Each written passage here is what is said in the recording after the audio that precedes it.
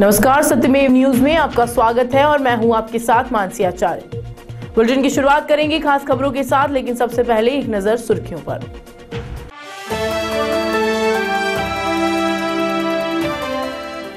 छब्बीस सौ परिवार खाद्य सुरक्षा के लाभ से वंचित 11 दिन बीतने के बाद भी लाभ नहीं मिला।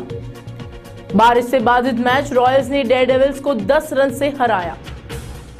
घरों में दौड़ा, हाई वोल्टेज, विद्युत करंट, महिला झुलसी। दौड़ प्रतियोगिता का आयोजन ग्रामीणों ने लिया भाग। पाली के खिवाड़ा कस्बे के आदर्श उच्च माध्यमिक विद्यालय में डॉक्टर भीमराव अंबेडकर 127वीं जयंती समारोह शिक्षा विभाग के निर्देशानुसार प्रधानाचार्य प्रकाश चंद जाट की अध्यक्षता में हर्षोल्लास के साथ मनाई गई, जिसमें जाट ने विद्यार्थियों को बाबा साहेब के जीवन परिचय के साथ उनके व्यक्तिगत व कृतित्व पर प्रकाश डालते हुए विभिन्न प्रतियोगिताओं का आयोजन किया। जिसमें चित्रकला प्रतियोगिता में सुरेश पटेल, निबंध प्रतियोगिता में किरण कंवर, संविधान की प्रस्तावना व विशेषता में राहुल आचार्य। चर्चा परिचर्चा में अंजलि राजपुरोहित, भाषण में संगीता आरेसा ने प्रथम स्थान प्राप्त किया। व प्रथम स्थान आने वालों को स्मृति चिन्ह देकर सम्मानित किया गया।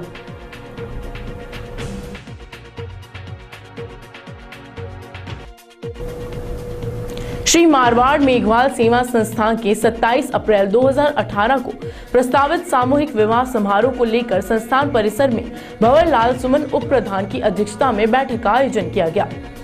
बैठक में पंजीकृत जोड़ों के प्राप्त आवेदनों की जाँच की गई। बैठक में सचिव सुखाराम ने आयोजन की व्यवस्था के संबंध में अब तक की प्रगति से अवगत करवाया।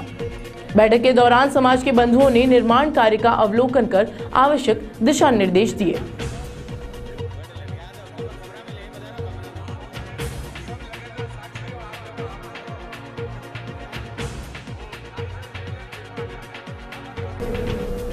बीकानेर के खाजूवाला में राजस्थान शिक्षक संघ शेखावत उप शाखा खाजूवाला का वार्षिक अधिवेशन ग्राम पंचायत खाजूवाला सभागार में संपन्न हुआ।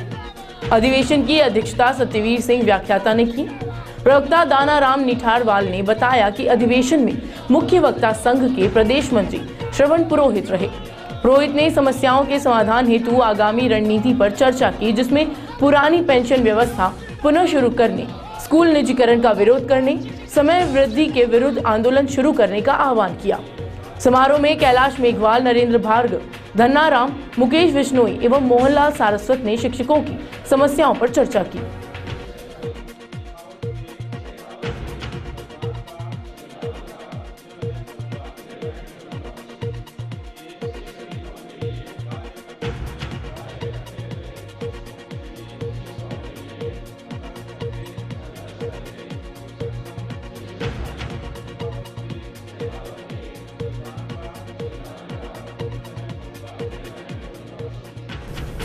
दरियावद उपखंड के मुंगाणा कस्बे में जगलावदा जाने वाले रोड पर नालियाँ नहीं होने से लोगों ने सार्वजनिक विभाग के खिलाफ जमकर नारेबाजी की। लोगों का कहना है कि पिछले एक वर्ष से इसी तरह लोग गंदगी से गुजरते हैं, पर प्रशासन का कोई ध्यान नहीं है। पर आज लोगों का गुस्सा फूट पड़ा। लोग गंदगी ने अपना जीवन जी रहे हैं और जहाँ स्वच्छता की बात की जाती है, एक तरह ये नज़ारा धज्जियाँ उड़ा रहा है। आए दिन गंदगी, बदबू एवं मच्छरों से परेशान हो रहे लोगों में बीमारियाँ पनप रही हैं। ग्रामीणों ने इस पर मार्ग पर शीघ्र से शीघ्र नाली निर्माण कर गंदगी से निजात दिलाने की कोशिश कर रहे हैं। सरमचरा उपखंड अधिकारी ताहिर अहमद बुधवार को आंगई पंचायत के जिंदापुर गाँव में जन सुनवाई की। जन सुनवाई में बिजली, पानी और अतिक्रमण का मुद्दा छाया रहा। जिंदापुर के ग्रामीण वासियों ने उपखंड अधिकारी को बताया कि गाँव में करीब एक दर्जन अवैध नल कनेक्शन कर रखे हैं, जिससे कुछ लोग पानी भर पा रहे हैं और कुछ नहीं भर पा रहे। उपखंड अधिकारी ने मौके पर ही अवैध कनेक्शन करने वालों के खिलाफ कार्यवाही की गई। गाँव के लोगों ने बताया कि स्कूल की चार दीवारी के ऊपर कुछ दबंग लोगों द्वारा गोबर के उपले कंडे थाप रखे हैं तो एसडीएम ने मौके पर पहुंचकर स्कूल की चार दीवारी के ऊपर से अतिक्रमण को हटवाया। और आंगनवाड़ी केंद्र के आगे पानी भरा हुआ है। उसी को लेकर आंगनवाड़ी केंद्र की चार दीवारी नहीं है। एसडीएम ने आंगई पंचायत सरपंच को पाँच दिन के अंदर आंगनवाड़ी केंद्र की चार दीवारी करने का आदेश दिया। धौलपुर ज़िले के उप तहसील कंचनपुर क्षेत्र के गाँव रहल में बाबा रामगिरी के मेले के उपलक्ष्य में प्रतिवर्ष की भांति दौड़ प्रतियोगिता का आयोजन ग्रामीणों की कमेटी द्वारा आयोजित किया गया। जिसमें विभिन्न प्रतियोगियों ने भाग लिया तथा दौड़ के दौरान प्रथम स्थान पर भोला शर्मा निवासी वीरपुर, कस्बा नगर तथा द्वितीय स्थान पर राम वकील गुर्जर, ग्राम पंचायत जनसौर जिला भरतपुर ने स्थान प्राप्त किया। तथा दौड़ प्रतियोगिता के दौरान राष्ट्रीय मानवाधिकार की तरफ़ से वीरेंद्र गुर्जर एवं समुद्र सिंह, बंटी मुंशी सिंह, राम मुकुट, यशवीर गुर्जर, गोविंद, रामबरन एवं समस्त ग्रामवासी मौजूद रहे। धौलपुर ज़िले के बाड़ी उपखंड में राजस्थान राजस्व सेवा परिषद के कर्मचारियों ने मुख्यमंत्री वसुंधरा राजे के नाम उपखंड अधिकारी कार्यालय पहुंचकर उपखंड अधिकारी जीएल मीणा को ज्ञापन सौंपा। राजस्थान राजस्व सेवा परिषद की मांगों एवं 22 जून 2017 को हुए समझौतों की पालना नहीं होने के विषय में ज्ञापन दिया है, जिसमें तहसीलदार, राज्य कानून एवं पटवार संघ तीनों संगठनों के प्रतिनिधियों ने आरोप लगाया है कि पटवारी गिरदावर और तहसीलदार सेवा के संयुक्त मंच राजस्व सेवा परिषद द्वारा गत वर्ष 22 जून को राज्य सरकार से समझौता किया था। लेकिन उस समझौते को एक वर्ष बीतने को है, लेकिन फिर भी राज्य सरकार द्वारा किसी प्रकार की कोई कार्यवाही अमल में नहीं लाई गई है।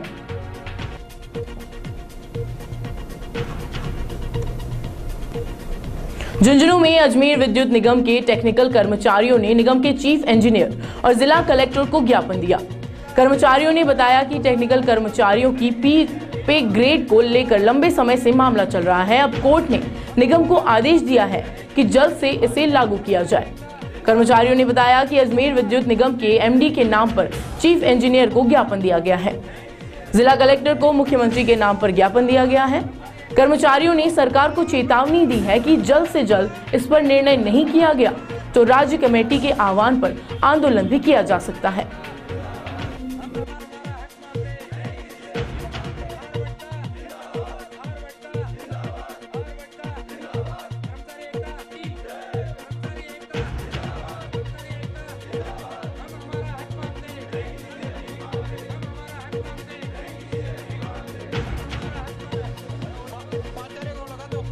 एससी साहब को अध्यक्ष अभियंता को एमडी साहब के और अध्यक्ष महोदय के, के नाम से ज्ञापन दे रहे हैं और जिला कलेक्टर को मुख्यमंत्री के नाम से ज्ञापन दे रहे हैं। हमारी कर्मचारियों की जो टेक्निकल कर्मचारी उनकी ग्रेड पे की मांग काफ़ी दिनों से लंबी चल रही है।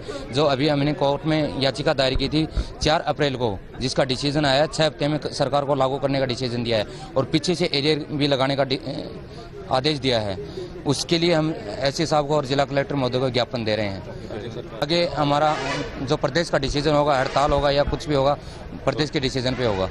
माननीय न्यायालय के द्वारा वर्ष 2015 में राजस्थान विद्युत तकनीकी कर्मचारी एसोसिएशन के द्वारा ग्रेड पे के मुद्दे पे कोर्ट में केस दायर किया था जिसका फैसला लगभग तीन वर्ष के बाद में 2018 में अभी 14 14 मार्च को आया है। उस फैस उस फैसले को छः हफ़्ते में सरकार को इम्प्लीमेंट करना है जिसके लिए कर्मचारी के द्वारा पूरे राजस्थान में आज जिला हेडक्वार्टर पे अधीक्षण अभियंता के माध्यम से और जिला कलेक्टर के माध्यम से माननीय मुख्यमंत्री महोदया को ज्ञापन दिया जाएगा ताकि वो कर्मचारियों की भावनाओं को देखते हुए इस फैसले को जल्दी से जल्दी लागू करे और माननीय मुख्यमंत्री महोदय से हमें पूरी उम्मीद है कि वो इस फैसले को अतिशीघ्र लागू करेंगी। इसके लिए हम कर्मचारियों की तरफ़ से आज अधीक्षण अभियंता को और जिला कलेक्टर को ज्ञापन देने आए हैं। झुंझुनू में महात्मा फूले राष्ट्रीय संस्था की ओर से महात्मा ज्योतिराव फूले की जयंती मनाई गई। कार्यक्रम सैनी मंदिर में हुआ। कार्यक्रम के मुख्य अतिथि पूर्व मंत्री एवं विधायक ब्रजेंद्र ओला थे। पूर्व मंत्री ब्रजेंद्र ओला ने कहा कि ज्योतिराव फूले ने शिक्षा की अलग जगाई थी। उस समय शिक्षा का अधिकार नहीं था, लेकिन फूले ने शिक्षा के लिए ज़िंदगी लगा दी। ज्योतिराव फूले एक समाज के सुधारक थे, जिसका परिणाम हमारे सामने है। कार्यक्रम की अध्यक्षता जिला प्रमुख सुमन रायला रही।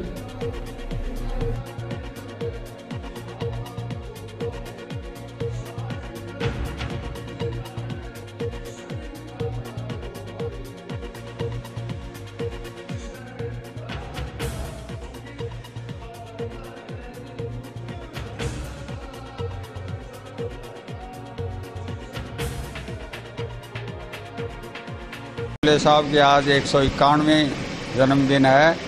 महात्मा ज्योति फुले ने उसमें स्त्री शिक्षा का अलग जगाया। जब पुरुषों को भी पढ़ने का अधिकार नहीं था वहाँ दोहरी व्यवस्था थी। अंग्रेज़ों का तो शासन था ही, पर राजा महाराजाओं का भी था। और शिक्षित होने के लिए किसी को कोई न सुविधा थी, न अधिकार था।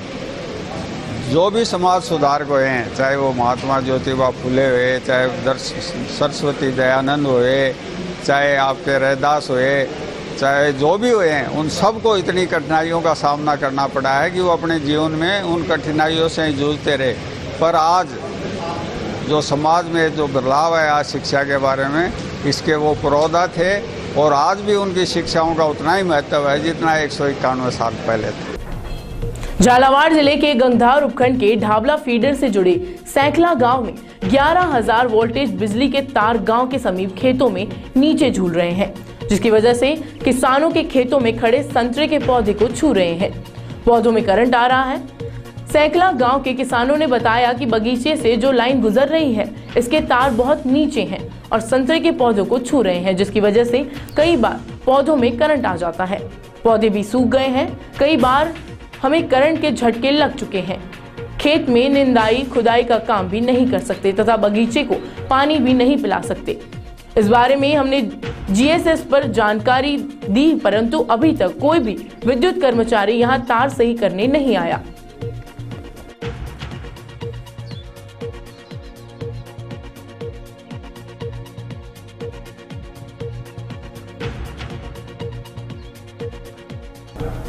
झुंझुनू की बिलानी पुलिस ने बड़ी सफलता प्राप्त करते हुए अजय जैतपुरा हत्याकांड के एक और आरोपी को और मिंटू मोडसिया गैंग के शूटर बलकेश पुत्र सत्यवान जाट को गिरफ़्तार किया है। बलकेश को बिलानी पुलिस ने राजगढ़ रोड पर एक ऑटोमेटिक पिस्टल के साथ गिरफ़्तार किया है। बलकेश चुरू ज़िले के हमीरवास थाना इलाके के नंदा का बास का रहने वाला है, जो मिंटू मोडसिया गैंग के लिए काम करता है। बलकेश पर पूर्व में भी हत्या का प्रयास आर्म्स एक्ट और मारपीट के जैसे मामले चल रहे हैं। अजय जैतपुरा पर सादुलपुर कोर्ट में हुए फायरिंग में बलकेश नामजद आरोपी था।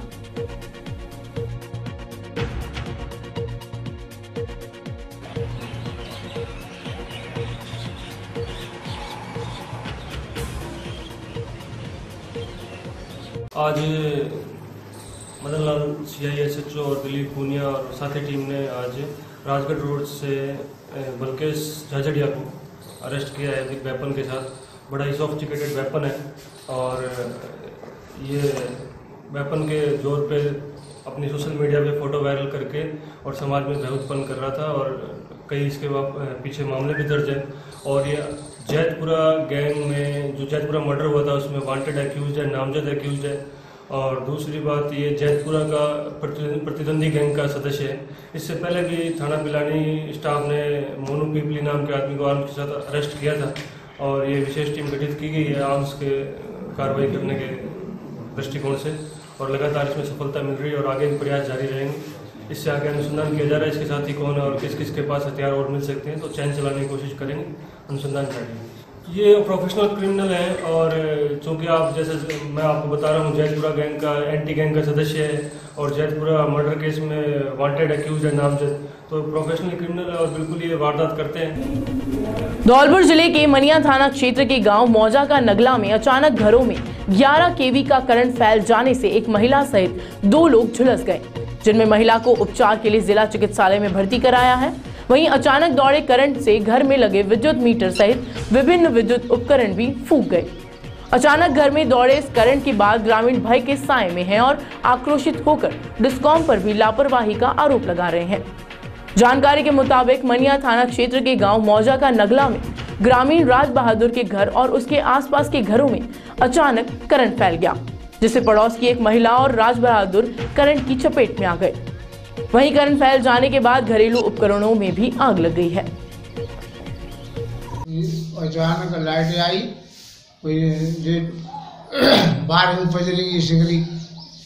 मीटर बज और पंखा बज रही हो, और टीवी और इन्वर्टर पूरा बैटरी से हो ये अचानक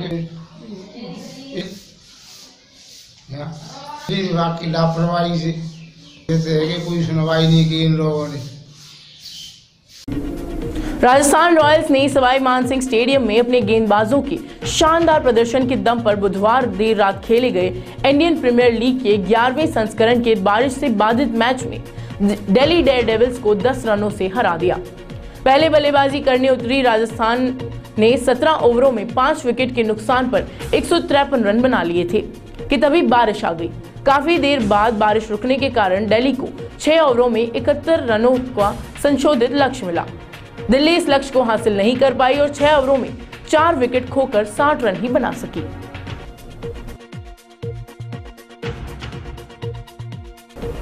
ज़िले के 2600 परिवार अभी भी खाद्य सुरक्षा का लाभ लेने से वंचित रह गए हैं।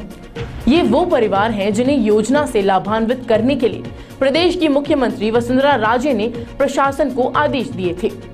सीएम वसुंधरा राजे को श्री गंगानगर दौरे के दौरान जनसभा में खाद्य सुरक्षा से वंचित रहे लोगों की समस्या से उप सभापति अजय दावड़ा व अन्य ने अवगत कराया था।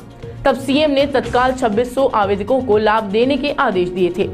लेकिन 11 दिन बीतने के बाद भी आवेदकों को योजना का लाभ नहीं मिल सका है।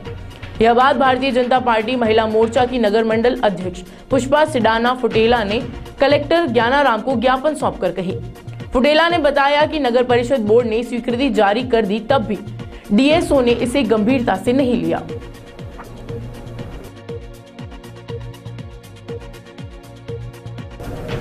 और बुलेटिन में फ़िलहाल के लिए इतना ही। देश प्रदेश की तमाम बड़ी खबरों के लिए आप देखते रहिए सत्यमेव न्यूज़।